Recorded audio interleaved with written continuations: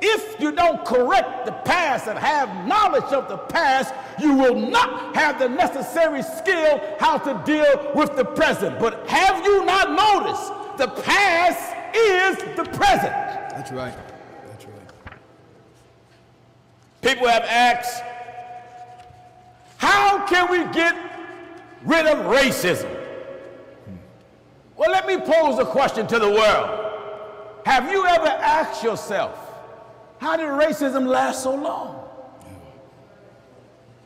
How did racism become so strong? Right. How did racism become so believable? How did racism become so convincing that people were and still are willing to die to keep it? Yeah. Oh, how did racism become so prevalent? That's right. What was used to keep it here? How did it spread so rampant? How was it presented to be so convincing? Viewers, the answer to all those questions come under one heading religion. Religion has been the institution of racism for years. What do you mean? Whether you're black, white, brown, yellow, or red, every color on the spectrum wants to be and has some form of religious belief. The Bible is used right and the Bible is used wrong. That's right. Book of scripture, which is the words of Almighty God, but even though it's the words of God, the words of God can be placed in the hands of Satan. What then, notwithstanding? And when it's placed in the hands of Satan, the words of God become diluted and misrepresented. In other words, this. You can take a clip, a reporter can interview a person who's not racist. And then that uh, reporter can edit the interview. And when he or she done editing the interview, can make the one that's being interviewed look like they're saying something they ain't never said. It's a matter of taking out, moving words around, editing, and making the good appear evil and make the evil appear good. Do you understand?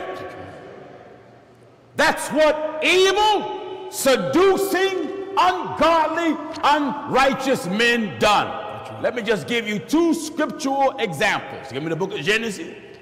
When uh, the son of Jacob saw his father, let's get that quickly.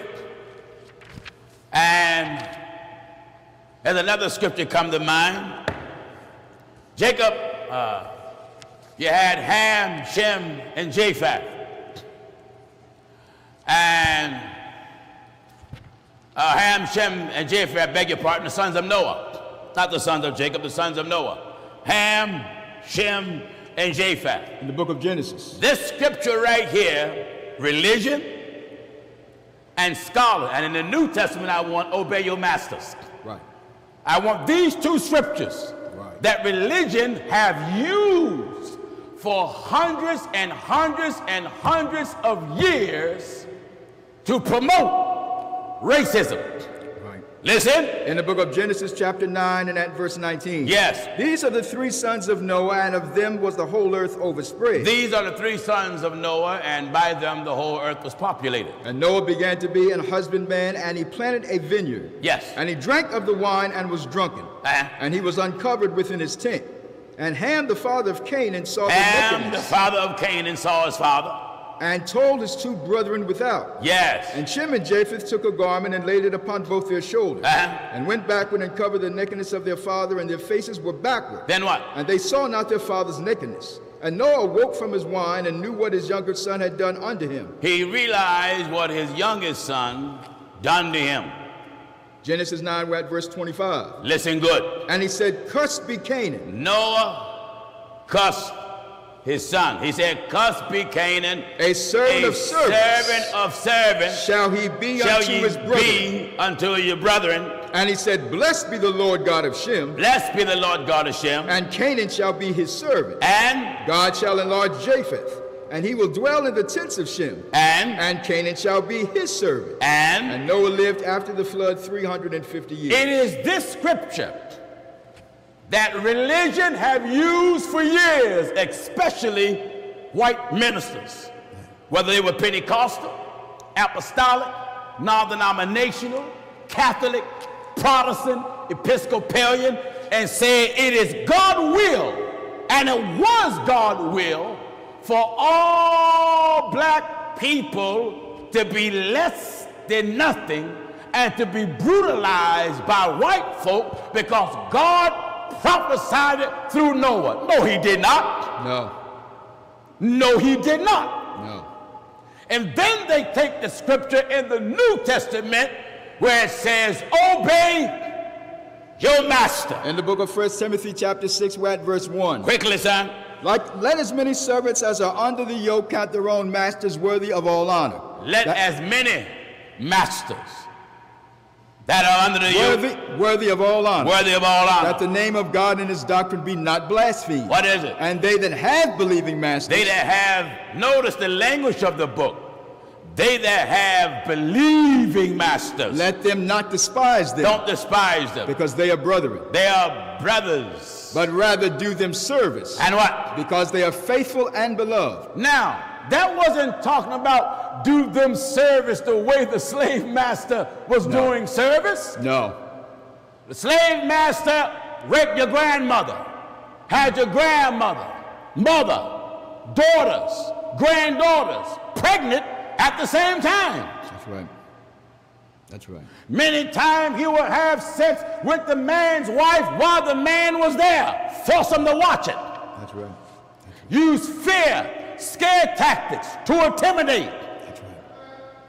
So, what happened? Huey, quickly. Drop what you're doing. Go in the corner and bring me one of those pictures that we had earlier. Quickly, please. I want to deal with the whole method, just one picture.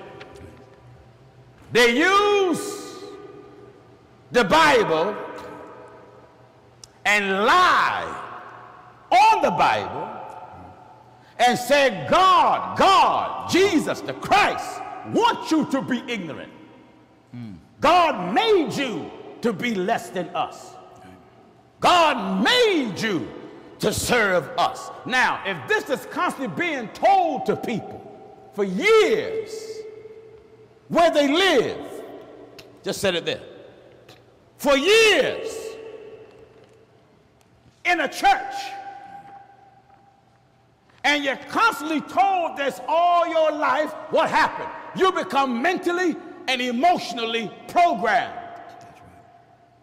So now, in religion, they put this in your church and said, This is your Savior. They say, This is God. And you're supposed to bow to your slave master because the slave master represent God. So they hold this picture. They know it's a lie, but the objective is make God white, make the slave master white, and when you bow to your slave master or bow to white folk, it took the fight out of you out of you because you thought you was doing God's will. That's right. That's right. Exhort Churches servants. have done this. That's right. That's why you see it all on the stained glass, all pictures in your Bible, everywhere. And the churches are afraid to speak out against this poison. Racism has used religion like a surfer used water on a surfboard. And they've took it from religion to religion to church to church to church to church to church. You would find many, many, many years ago that if a white group went inside of any church And if that church had a balcony, you were sent to the balcony. In church, a black man couldn't use the same bathroom. In church, a black man couldn't sit at the same table. But yet, they say they're Christians. Let us remember the Ku Klux Klan also declared themselves to be Christians. That's right. That's right. Didn't they? That's right. So Trump stands in front of a church, Amen. hold a Bible he don't believe in. Right. And then people feel as though he done something big or something great. They said this was a great moment in history. The president held the Bible. Amen. That don't mean nothing. That's right. Do you know even the devil quote the Bible? That's right. Give me the book of Matthew, Matthew chapter 4. chapter 4. And we'll start at verse 1. Trump hold the Bible as if he done something big. The Ku Klux Klan been holding the Bible for years. The Ku Klux Klan will burn a cross. Bigots and those that were racist held Bibles for years. Holding the Bible don't mean nothing. Believing what's in there and practicing what's in there, then you will get some credit. Holding it don't mean nothing. Nothing. Uh, An atheist can hold the Bible. That's right. That's right. Listen, Matthew chapter 4, we'll start at verse 1. follow me. Then was Jesus led up of the Spirit into the wilderness to be tempted of the devil. Jesus was led up by the Spirit to be tempted of the devil. And when he had fasted 40 days. When he days fasted 40 nights, days, the devil came to him. And when the tempter came to him, The devil came to him. he said, If thou be the Son of Thou God, be the Son of God. command these stones be made these bread. stones to be turned to bread. But he answered and said, It is written, Jesus responded to Satan and said, It is written, Man shall not live by bread alone. Thou man shall not live by bread alone, but by every word that proceeded out of the mouth of God. Then the devil taketh him up into the holy city, Then the devil took Jesus up to the holy city. and setteth him on a pinnacle of the temple, And what did the devil say? and saith unto him, If thou be the Son of God, If you be the Son of God, cast thyself down, and for it is written. here is the devil now quoting the Bible to Jesus. That's right. Satan That's right. says to It Jesus, Satan says to Jesus, And saith unto him, If thou be the Son of God, it's written, it is written. it's written. He shall give his angels charge concerning thee. So Trump standing holding the Bible was a dumb moment. Woe unto you, scribes and Yeah, Pharisees. it was a dumb moment. That's right. It was a moment of buffoonery. it was a moment of hypocrisy. That's right. It was a moment where God was not represented at all. That's right. Are you listening to what I'm telling you? That's right. Read what you have, sir. Matthew 23, and I'm at verse 14. Says what? Woe unto you, scribes and Pharisees. Woe unto you, scribes and Pharisees. hypocrites. What are they? Hypocrites. Hypocrites. For ye devour widows' houses. Ye devour widows' houses. and for a pretense. and for pretending, for pretending, for pretending, you're pretending. What do they do? make long prayer. Amen. So Trump held the Bible, Yeah, didn't know what to do with it. that's right. The Bible. Uh, That's right. That's right. Didn't know what to do with it. That's right. Read it, Read it. understand it, and obey it. Amen. If you're not going to respect and obey it, then what good is trying to advertise it? That's right. to try to make people believe that you are a believer. Listen, you have believers and you have disciples. That's right. A believer and a disciple are two different things. You can believe something, but you're not a disciple. That's right. What do you mean? You can believe what the Bible says, but you're not a follower of it.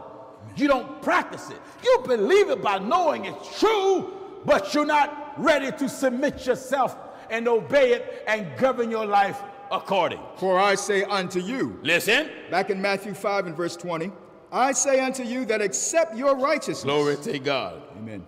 Except your right deeds be above. shall exceed the righteousness of the scribes and Pharisees. So you churches, you churches, I have said before, and I say again, take this racist image out of your church. That's right. Take that racist image out of your church. They took the counterfeit of his vices from far, They took the counterfeit of his vices from far, of his vices from far. and made an express image of a king, They made an express image of a king whom they honored, who they honor. to the end that by this their forwardness they might flatter him that was absent. You think God is flattered? You trying to make him white, others trying to make him black, others trying to make him brown. Leave color out of God. That's right. When it come to God, don't try to add color to him. That's right. The. Bible says in John 4:24, God is a spirit. What kind of spirit? Holy Spirit, sanctified, righteous spirit. That's right. He's a God that whites can bow to, blacks can bow to, brown can bow to. God don't look at the color of your skin. One thing I say about the death angel, he's not a racist. No. Is he? No, no. Oh, that's I, I, I keep telling the folk, there's not a racist death angel that ever exists, nor is the grave prejudice, That's right. nor when a corpse die is there racist worms. Amen. Those worms cover that body of the black, brown, and red and consume you over a long period of time and eat the flesh off your bones. That's right. All right, son, let's go back to where we were. Back in Matthew 5 and verse 20. Follow me. For I say unto you that except your righteousness, So, the unrighteous act of prejudice and racism got on the backs of religion and many bigots.